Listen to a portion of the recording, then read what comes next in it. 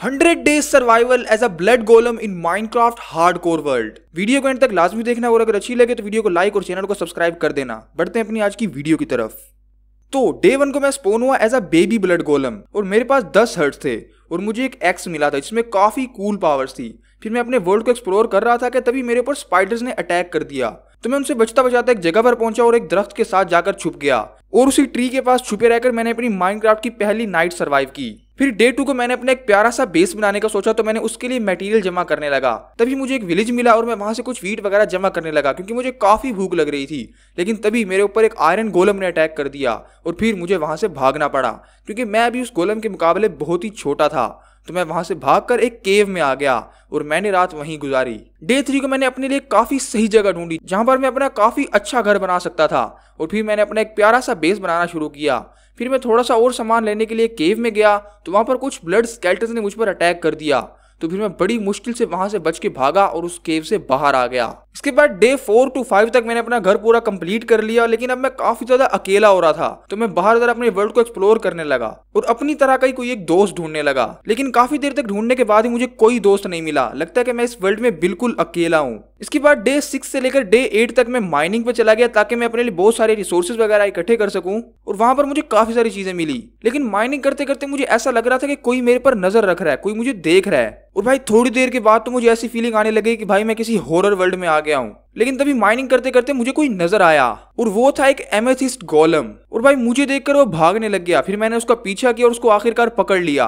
लेकिन गाइस वो काफ़ी ज़्यादा फ्रेंडली था और उसने मुझे बताया कि वो भी इस वर्ल्ड में बिल्कुल अकेला है। तो वो भी अपनी तरह का एक दोस्त ढूंढ रहा था और उसने मुझे देखा तो वो मेरे पे स्पाई करने लगा। फिर मैंने उसको बताया कि मैं भी एक दोस्त की तलाश में हूँ। क्यों ना तुम मेरे साथ चलो, हम दोनों मिल के मेरे घर में रहेंगे। और वो मान गया और मेरे साथ मेरे घर पर आ गया। इसके बाद डे नाइन टू टेन तक मैंने अपने उस फ्रेंड के लिए एक अलहदा रूम बनाया, ताकि वो वहाँ पर आराम से रह सके। इसके बाद मैंने अपने घर के साथ एक अपना फार्म बनाया और उसमें काफ़ी सारी क्रॉप्स लगाई, जिसे मैं साथ के विलेज से लेकर आया था। इसके बाद मुझे भूख लगने लगी तो मैं आसपास जाकर मैंने देखा, वहाँ पे मुझे काफ़ी सारी शीप्स नज़र आई। तो मैंने कुछ शीप्स को मारकर उन्हें खाया और खाने को खाते ही, देखते ही, देखते मैं बड़ा हो गया। अब मेरे पास 25 हर्ट्स थे और मेरे पास सिर्फ़ हर्ट्स ही नहीं आए थे, बल्कि मैं एक बड़े गोलम में कन्वर्ट हो गया था। और बड़े होने पर मुझे एक एंडरमैन का हैंड मिला, जिससे मैं कहीं भी टेलीपोर्ट कर सकता था। इसके बाद मैं अपने घर वापस आ गया और आकर सो गया। इसके बाद डे इलेवन को मेरे साथ काफ़ी अजीब सा सीन हुआ। मुझे ऐसा लगा कि मैं किसी अजीब तरह की फैक्ट्री में हूँ। और यहाँ पर काफ़ी सारे गोलम हैं। तभी वहाँ पे एक आदमी आया और एक ऑब्सीडियन गोलम पर बैठकर उसने मेरे पर अटैक कर दिया। और जैसे वो मुझे मारने वाला था, उसी वक्त मेरी आँख खुल गई। मतलब गाइस ये एक सपना था। भाई, ये तो काफ़ी अजीब सपना था। इसके बाद डे ट्वेल्व से लेकर डे फिफ्टीन तक मैंने अपने उस दोस्त को अपने उस सपने के बारे में बताया और फिर मुझे समझ आ गई कि ये सिर्फ़ एक सपना नहीं हो सकता। इसमें कुछ ना कुछ रियलिटी ज़रूर है। और फिर हमने डिसाइड किया कि हम और ज़्यादा गोलम्स को अपने पास लेके आएँगे ताकि हम उस आदमी से फाइट कर सकें। तो और ज़्यादा गोलम्स को लाने के लिए मैं अपने घर को और एक्सपेंड करने लगा, ताकि मैं अपने इस घर में और ज़्यादा गोलम्स को रख सकूँ। इसके बाद मैं अपने बेस में कुछ शीप लेकर आया, और मैंने रेड डाई से उन सबको रेड कलर में कन्वर्ट कर दिया। इसके बाद डे सिक्सटीन से डे नाइनटीन तक मैं फिर से एक्सप्लोरेशन के लिए निकल गया, ताकि मैं और गोलम को भी ढूंढ सकूँ। और तभी मुझे एक विलेज मिला, और तभी मुझे इस विलेज में काफ़ी स्ट्रेंज गोलम नज़र आया, जो कि था फर्नेंस गोलम जो कि मुझे काफ़ी ज़्यादा उदास लग रहा था। तो मैंने उसके उदास रहने की वजह पूछी। तो उस फर्नेंस गोलम ने मुझे बताया कि इन विलेजर्स ने उसको कैद करके रखा हुआ है और वो उससे काम करवाते हैं। उसने मुझे बताया कि मैं आज़ाद होना चाहता हूँ, लेकिन मैं कुछ भी नहीं कर सकता। तो मैंने उसको कहा कि हम लोग मिल इन विलेजर्स को खत्म कर देते हैं, ताकि ये तुमसे और ज़्यादा काम ना करवाएँ। और फिर मैंने और फर्नेस गोलम ने मिलकर उन सब विलेजर्स को मार दिया और हम दोनों ने मिलकर पूरा विलेज डिस्ट्रॉय कर दिया और सिर्फ़ एक विलेजर बचा। हम उसको भी मारने वाले थे कि वो आसमान में उड़ा और अचानक से ग्लिच हो गया। हमें बिल्कुल भी समझ नहीं आई कि उसको क्या हुआ। लेकिन खैर, हमने उसको इग्नोर किया और फिर मैं वापस उस फर्नेंस गोलम के पास गया। तो उस फर्नेंस गोलम ने मुझे कहा कि मेरी जान बचाने के लिए थैंक यू लेकिन मुझे अब नहीं पता कि मैं अब कहाँ जाऊँगा। तो मैंने उसको कहा कि तुम मेरे साथ चल सकते हो और मेरे घर में रह सकते हो। और वो फर्नेंस गोलम मान गया। तो फिर मैं उसको अपने ही घर ले आया। इसके बाद डे ट्वेंटी से लेकर ट्वेंटी थ्री तक मैंने अपने उस फर्नेंस गोलम के लिए एक बेड बनाया और फिर जाकर मैंने उस एमेथिस्ट गोलम को अपने एक न्यू फ्रेंड के बारे में बताया। जिसको सुनकर वो काफ़ी ज़्यादा खुश हुआ। लेकिन गाइज़ अभी एक बहुत बड़ा खतरा हमारे सर पर मंडला रहा था। और वो वो बंदा था, जिसको मैंने अपने ख्वाब में देखा था। तो उससे लड़ने के लिए डे 24 से लेकर डे 28 तक मैं माइनिंग पर चला गया, ताकि मैं काफ़ी सारे रिसोर्सेज इकट्ठे कर सकूँ, जो कि हमारी फाइट में हमारी हेल्प करें। और माइनिंग से काफ़ी ज़्यादा आयरन कलेक्ट करने के बाद मैंने अपने लिए एक आयरन की चेस्ट प्लेट बनाई और बूट्स बनाए। और अभी मैं माइनिंग करके बाहर निकला ही था, कि बाहर मुझे एक अजीब से गोलम नज़र आए। आई थिंक ये कोई क्रीपर गोलम थे। और जब मैं इनके पास गया तो ये ब्लास्ट हो गए। और जैसे ही ये ब्लास्ट हुए, इनके छोटे छोटे टुकड़े वापस आपस में मिलके फिर से एक बड़ा गोलम बन गया। मैंने काफ़ी कोशिश की, लेकिन मैं इनको नहीं मार पाया। लेकिन तभी मेरी हेल्प करने के लिए वहाँ पे एक डर्ट गोलम आ गया। मुझे नहीं पता वो कहाँ से आया, लेकिन हम दोनों ने मिलकर उन सारे क्रीपर्स को मार दिया। इसके बाद मैंने उस डर्ट गोलम को थैंक यू बोला और मैंने उसको भी ऑफ़र की कि वो आकर मेरे साथ मेरे घर पर रहे। इसके बाद डे 29 से 33 तक हम दोनों अपने बेस पर वापस आए और मैंने उस डर्ट गोलम के लिए भी एक न्यू बेड बनाया, जिस पर वो सो सके। अभी हम दोनों के दरमियान यही बातें चली रही थी कि मेरा वो एमथियस्ट गोलम आया। उसने मुझे बताया कि हमारे बेस पर अटैक हो गया है। और जब मैंने बाहर जाकर देखा तो यहाँ पर एक एंडर गोलम था। और उस एंडर गोलम ने जैसे ही मुझे देखा तो उसने मुझ पर अटैक कर दिया। ये एंडर गोलम काफ़ी ज़्यादा स्ट्रॉन्ग था, लेकिन तभी मेरा फ्रेंड वो डर्ट गोलम मेरी हेल्प करने के लिए आ गया। और काफ़ी देर की फाइट के बाद हम दोनों ने फाइनली मिलकर उस एंडर गोलम को हरा दिया। और तभी मैं एक आयरन ब्लड गोलम में कन्वर्ट हो गया। और अब मेरे पास टोटल 50 हर्ट्स थे। और इस दफ़ा मेरे पास काफ़ी ज़्यादा एबिलिटीज भी आई थी। जैसे मैं जब भी ये हेलमेट लगाता था, मैं इनविजिबल हो सकता था। इसके बाद डे 34 से 37 तक मैं फिर से एक्सप्लोरेशन के लिए निकला। और एक्सप्लोर करते करते वहाँ पर मुझे एक ह्यूमन नज़र आया, जो कि मुझे देखकर वहाँ से भागने लगा। लेकिन फाइनली मैंने उसको पकड़ लिया। तो मैंने उससे पूछा कि तुम कौन हो? तो उसने मुझे बताया कि मैं गोलम्स को कैप्चर करता हूँ। मैंने पूछा, वो कैसे? तो उसने मुझे बताया कि बिल्कुल पोकेमोन बॉल्स की तरह। है तो उसने एक बॉल निकाली और साथ खड़े एक पिक को उसने उस बॉल में कैप्चर कर लिया, जिसको देखकर मैं काफ़ी ज़्यादा शौक हो गया। तो मैंने उसको बोला, अगर तुम चाहते हो कि मैं तुम्हें ज़िंदा छोड़ दूँ तो ये बॉल्स मुझे दे दो। और अपनी जान बचाने के लिए उसने मुझे वो बॉल्स दे दी। और जैसे ही मुझे बॉल्स मिली, मैंने सबसे पहले उस ह्यूमन को ही कैप्चर कर लिया, ताकि वो और ज़्यादा गोलम्स को कैप्चर ना कर सके।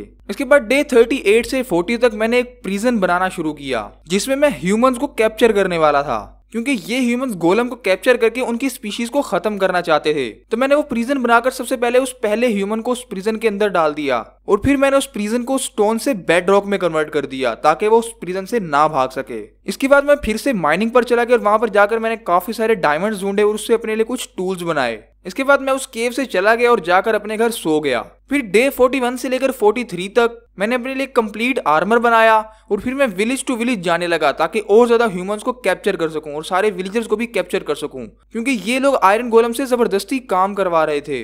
और अब मैं एक गोलम था तो मेरा फ़र्ज़ बनता था कि मैं इन गोलम्स की प्रोटेक्शन करूँ। तो मैंने उन सब विलेजर्स को कैप्चर किया और उन सबको उस प्रीजन में लाकर छोड़ दिया और उन सबको उस प्रीजन में डालने के बाद मैं फाइनली अपने घर में वापस आ गया। इसके बाद डे 44 से 49 तक मैं डीप एक्सप्लोरेशन के लिए गया।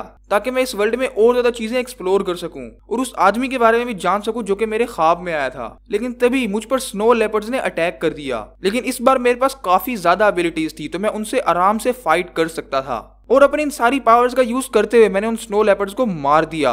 इसके बाद मैं थोड़ा आगे गया तो मुझे वही बंदा नज़र आया जो मेरे ख्वाब में आया था, जो कि एक स्नो गोलम से कोई बात कर रहा था। तो मैं इनविजिबल बन के उनके पास गया ताकि उनकी बातें सुन सकूँ। तो वो बंदा उस स्नो गोलम को बोल रहा था कि तुम मेरी बात मान जाओ, नहीं तो मैं तुम्हें किसी डार्क फोर्स डायमेंशन में जाके बंद कर दूँगा। और फिर वो बंदा वहाँ से चला गया। इसके बाद मैं वापस से विजिबल हुआ और मैं उस स्नो गोलम के पास गया और उसे पूछा कि तुमने अटैक क्यों नहीं किया उस पर? तो उसने मुझे बताया कि ये काफ़ी ज़्यादा पावरफुल है। तो मैंने स्नो गोलम को थोड़ी तसली दी और मैंने उसको बोला कि तुम्हें डरने की कोई ज़रूरत नहीं है, तुम मेरे साथ मेरे घर पर रह सकते हो। और फिर मैं उसको अपने घर ले आया। इसके बाद डे 50 से 53 तक मैंने स्नो गोलम के लिए एक बेड बनाया और फिर मैं अपने बाकी के गोलम्स के पास गया। ताकि उनसे डार्क फोर्स के बारे में पूछ सकूँ। क्या पता उनके पास कोई इसके बारे में नॉलेज हो, लेकिन उनमें से किसी गोलम को भी डार्क फोर्स डायमेंशन के बारे में नहीं पता था। तो मुझे इसके बारे में काफ़ी ज़्यादा स्टडी करने की ज़रूरत थी, ताकि मैं इस डार्क फोर्स गोलम की सच्चाई को जान सकूँ और पता कर सकूँ कि वो बंदा कौन था और उसका मकसद क्या है। इसके बाद मैं फिर से माइनिंग के लिए गया, ताकि मैं काफ़ी ज़्यादा डायमंड्स कलेक्ट कर सकूँ उस डायमंड से अपने लिए चीज़ें बना सकूँ, जो कि हमारी फाइट में हमारी हेल्प करेंगी।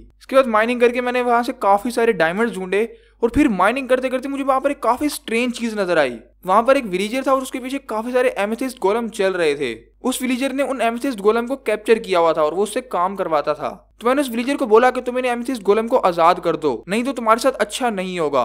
लेकिन उसने मेरी बात नहीं मानी और वो आगे चला गया। और फिर जब मैंने उसको दोबारा से रोका तो फिर से आसमान में उड़ा और फिर वो ग्लिच कर गया। पता नहीं वो कहाँ गया, लेकिन वो अचानक से गायब हो गया। और अब वो एमेथिस गोलम फिर से फ्री हो चुके थे। तो मैंने उनको बोला कि तुम लोग भी मेरे साथ मेरे घर चलो और वहाँ पर तुम आराम से रह सकते हो। और मैं उनको लेकर अपने घर पर आ गया। इसके बाद डे 54 से 58 तक मैं अपने घर पहुँचा उन एमेथिस गोलम को लेके और फिर मैंने अपने उस पुराने एमेथिस गोलम से उन नए गोलम्स को मिलवाया और उनको देखकर मेरा पुराना दोस्त काफ़ी ज़्यादा खुश हुआ। इसके बाद मैंने उन सब के लिए काफ़ी सारे हर्ट्स बनाए, जिसमें वो एमथिस गोलम आराम से रह सकते थे। और अपने उन हर्ट्स को देखकर वो एमथिस गोलम काफ़ी ज़्यादा खुश थे।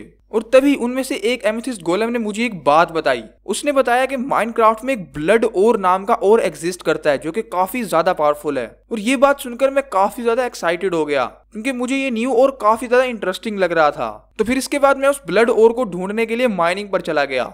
और मैंने वहाँ पर काफ़ी सारा ब्लड और ढूंढ लिया और उससे अपने लिए एक आर्मर भी बना लिया, जो कि काफ़ी ज़्यादा पावरफुल था। इसके बाद डे 59 से 62 तक मैं अपने घर वापस आया, लेकिन मुझे उस आदमी को रोकने के लिए काफ़ी ज़्यादा हेल्प की ज़रूरत थी। क्योंकि मैं अकेला उसको नहीं रोक सकता था, क्योंकि मुझे स्नो गोलम ने बताया कि वो काफ़ी ज़्यादा पावरफुल है। तो मेरे उस फ्रेंड एमेथिस्ट गोलम ने मुझे बताया कि तुम हेल्प के लिए नैदर में क्यों नहीं ट्राई करते? हो सकता है हमें वहाँ पर हेल्प के लिए कोई बंदा मिल जाए जो कि हमारी हेल्प कर सके। मुझे एमेथिस्ट गोलम की बात काफ़ी सही लगी तो मैंने जाकर ऑब्सीडियन कलेक्ट करना शुरू किया ताकि मैं एक नैदर पोर्टल बना सकूँ और नैदर को भी एक्सप्लोर कर सकूँ। इसके बाद मैंने अपना पोर्टल बनाया और उसके अंदर चला गया। इसके बाद आगे जाकर मुझे काफ़ी अजीब तरह की स्पाइडर्स मिली। मैं उन पर अटैक करने ही वाला था कि मुझे पता चला वो काफ़ी ज़्यादा फ्रेंडली है और वो मुझसे बात करने के लिए आई। उन्होंने मुझसे पूछा कि तुम यहाँ पर क्या कर रहे हो? तो मैंने उनको बताया कि मैं एक सुपर विलन को हराने के लिए कोई हेल्प ढूंढ रहा हूँ। तो उन स्पाइडर ने मुझे बताया कि इस नैदर में एक क्रिएचर है जो कि मेरी हेल्प कर सकता है, और वो है नैदर गोलम जो कि काफ़ी ज़्यादा पावरफुल है। तो मैंने उन स्पाइडर्स को थैंक्स बोला और उस नैदर गोलम की तलाश में चला गया। इसके बाद डे 63 से 66 तक काफ़ी ज़्यादा ढूँढने के बाद मुझे फाइनली नैदर गोलम की लोकेशन मिल गई और मैं उसकी जगह पर पहुँच गया। तो मैंने जाकर उस नैदर गोलम से बात की और उसको सारे मामले के बारे में बताया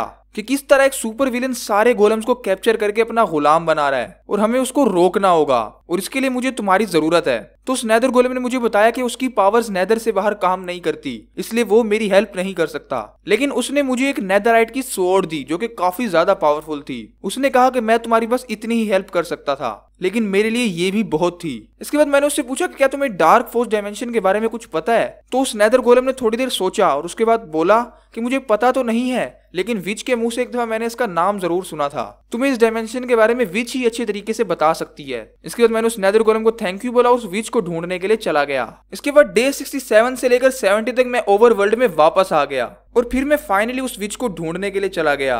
और उस विच को ढूंढते ढूंढते मुझे वही आदमी फिर से नज़र आ गया, जो कि मैंने उस ऑब्सीडियन गोलम के ऊपर बैठा हुआ था। मैं जल्दी से इनविजिबल चला गया और उसका पीछा करने लगा। और वो आदमी उस विच के पास गया मतलब वो विच उस आदमी के लिए ही काम कर रही थी। इसके बाद मैंने उन दोनों की बातें सुनी तो वो आदमी उस विच को ब्लैकमेल कर रहा था कि वो उसको एक पोशन बना के दे। जिससे वो तमाम गोलम्स पे कंट्रोल कर सके, वरना वो उस विच को डार्क फोर्स डायमेंशन में फेंक देगा। इसके बाद वो आदमी वहाँ से चला गया। इसके बाद मैं वापस से विजिबल हुआ और मैंने उस विच से पूछा कि बिना कोई चलाकी किए तुम मुझे डार्क फोर्स डायमेंशन के पोर्टल के बारे में बता दो। लेकिन उस विच ने मुझे कुछ नहीं बताया और वहाँ से भाग गई। इसके बाद डे सेवेंटी से लेकर सेवेंटी तक मुझे फाइनली वो विच फिर से मिल गई और मैंने उसको उस बॉल में कैप्चर कर लिया। तो वो विच मुझसे माफिया मांगने लगी और उसने मुझे कहा कि मैं तुम्हें सब कुछ सच सच बताती हूँ, लेकिन मुझे आज़ाद कर दो। तो मैंने उस विच को एक चांस दिया और उसको आज़ाद कर दिया। इसके बाद वो विच मुझे उस पोर्टल के पास ले गई। लेकिन वहाँ पर कुछ क्रिएचर्स थे जो कि काफ़ी ज़्यादा डेंजरस थे। लेकिन मैंने उन सबको मार दिया और फिर मैं फाइनली उस पोर्टल के अंदर चला गया। डे 75 से लेकर 78 तक मैं उस डार्क फोर्स डायमेंशन में था। ये डायमेंशन काफ़ी ज़्यादा स्ट्रेंज और काफ़ी ज़्यादा क्रीपी था। और तभी मुझ पर कुछ डार्क फोर्स जॉम्बीज ने अटैक कर दिया। लेकिन मैंने उन सबको मार दिया। इसके बाद मैं आगे बढ़ा तो मुझे एक और डायमंड गोलम नज़र आया। तो फिर मैं उसके पास चला गया और उससे बात करने लगा। तो उस गोलम ने मुझे बताया कि उसको उस आदमी ने ही यहाँ पर कैद किया था। लेकिन मैंने उसको कहा कि मैं उसको यहाँ से निकाल सकता हूँ। और फिर मैं उस डायमंड गोलम को उस पोर्टल के थ्रू वापस नॉर्मल वर्ल्ड में ले आया। और नॉर्मल वर्ल्ड में आकर वो डायमंड गोलम काफ़ी ज़्यादा खुश था। इसके बाद डे 79 से 84 तक मैंने उस डायमंड गोलम के साथ थोड़ी सी लड़ाई की प्रैक्टिस की। क्योंकि आगे जाकर मुझे इसकी काफ़ी ज़्यादा ज़रूरत थी। और तभी मुझे फील हुआ कि मेरे अंदर कुछ चेंजेस आ रहे हैं। और तभी देखते ही देखते मैं अपनी फाइनल फॉर्म में आ गया। और अब मेरे पास 100 हंड्रेड हर्ट्स थे, जिसको देखकर मैं काफ़ी ज़्यादा खुश था। इसके बाद डे 85 से लेकर 89 तक मैं फिर से माइनिंग के लिए चला गया। और यहाँ पर जाकर मैंने अपने लिए ब्लड और इकट्ठे किए, ताकि मैं और ज़्यादा स्ट्रॉन्ग आर्मर बना सकूँ। इसके बाद डे 90 से 93 तक मैं अभी तक केव में ही था कि वहाँ पर मैंने देखा कि काफ़ी सारे इवल वुल्फ्स एक कोल गोलम पर अटैक कर रहे हैं। तो मैंने उन वुल्फ्स को मारा और उस कोल गोलम को बचा लिया। इसके बाद मैं उन कोल गलम्स को भी लेकर अपने उस बेस पर आ गया ताकि वो वहाँ पे आराम से रह सकें। इसके बाद मैंने उनके लिए भी घर बनाया जहाँ पे वो आराम से रह सकते थे। इसके बाद डे 94 से 96 तक वो विच मुझसे मिलने के लिए आई, जिसने पहले मुझे वो डार्क फोर्स डायमेंशन का पोर्टल बताया था। इसके बाद उस विच ने मुझे बताया कि वो सुपर विलन तुम्हारी वजह से एक और डायमेंशन में शिफ्ट हो गया है। जिसका नाम है ब्लड डायमेंशन। और फिर उसने मुझे उस ब्लड डायमेंशन का मैप दिया। और अभी हम दोनों की बातें ही चल रही थी कि वो विच डार्क फोस्ट विच में कन्वर्ट हो गई। और उसने अपने पोशन से मुझ पर अटैक करना शुरू कर दिया। लेकिन फाइनली मैंने उसको मार दिया। मुझे ये बात समझ नहीं आ रही थी कि ये रियल विच थी या कोई डार्क फोर्स डायमेंशन की विच थी। ये कहानी काफ़ी ज़्यादा उलझ चुकी थी, जिसकी मुझे बिल्कुल भी समझ नहीं आ रही थी। लेकिन इस सारी कंफ्यूजन को दूर करने का मेरे पास सिर्फ़ एक ही सोल्यूशन था कि मैं इस मैप को फॉलो करूँ और वहाँ पर जाकर देखूँ कि असली मैटर क्या है। इसके बाद डे 97 से 98 तक मैं उस मैप को फॉलो करता गया और मैं फाइनली एक जायंट रेड पोर्टल की तरफ़ पहुँचा, जो कि उस ब्लड डायमेंशन की एंट्रेंस थी। और मैं फाइनली बिना कोई टाइम वेस्ट किए उस ब्लड डायमेंशन के अंदर चला गया। और ये डायमेंशन काफ़ी ज़्यादा स्ट्रेंज था। यहाँ सब कुछ बिल्कुल रेड रेड था, बिल्कुल ब्लड की तरह। तो मैंने इस ब्लड डायमेंशन को एक्सप्लोर करना शुरू किया और उसको एक्सप्लोर करते करते मेरे पास एक क्रीपी आई क्रिएचर आया, जो कि मुझ पर अटैक नहीं कर रहा था। तो मैंने उससे उस सुपर विलन के बारे में पूछा। मैंने उससे पूछा कि तुम जानती हो कि वो कहाँ पर है? तो उसने मुझे कहा कि फॉलो मी और मैं फिर उसके पीछे चलने लगा। और फाइनली वो आई बॉल मुझे उसकी जगह पर ले गया, जो कि काफ़ी बड़ी जगह थी। मैं अभी उसकी जगह पर अटैक नहीं कर सकता था। इसलिए डे 99 को मैं अपने घर वापस आया और मैंने सब गोलम्स को उसके बारे में बताया। लेकिन उन गोलम्स ने मुझे बताया कि ब्लड डायमेंशन में उनकी पावर्स काम नहीं करेंगी। तो मुझे ये फाइट अकेले ही लड़नी होगी। तो मैं वापस से उस डायमेंशन में आ गया। और फाइनली डे हंड्रेड को मैं उस सुपर विलन के बेस के अंदर चला गया। अब वो सुपर विलन बिल्कुल मेरी आँखों के सामने खड़ा था। तो मैंने जाकर उसको कहा कि आज मैं तुम्हें खत्म कर दूँगा। लेकिन उसने मुझे कहा कि तुमने काफ़ी देर कर दी। यहाँ पर मैंने एक आल्टर बनाया और मैं उस बटन को जैसे ही प्रेस करूँगा तो सिर्फ़ इस ब्लड डायमेंशन में ही नहीं, बल्कि ओवर वर्ल्ड में भी तुम्हारे जैसे काफ़ी सारे ब्लड गोलम पैदा हो जाएँगे, जो कि मेरे कंट्रोल में होंगे। पर मैं उस सुपर विलन को ऐसा करने बिल्कुल भी नहीं दे सकता था। तो हम दोनों की फाइट स्टार्ट हो गई। और फाइनली मैंने अपनी ब्लड गोलम्स की पावर को यूज़ करते हुए उस सुपर विलन को हवा में उड़ाकर उसको ग्लिच कर दिया और वो हमेशा हमेशा के लिए खत्म हो गया। तो बस ये थी हमारी आज की वीडियो आपको ये वीडियो कैसी लगी मुझे कमेंट्स में लाजमी बताइए। अगर अच्छी लगी तो वीडियो को लाइक करके चैनल को सब्सक्राइब कर देना। बाकी आपसे मिलते हैं इस तरह की और नई वीडियो में। तब तक के लिए बाय बाय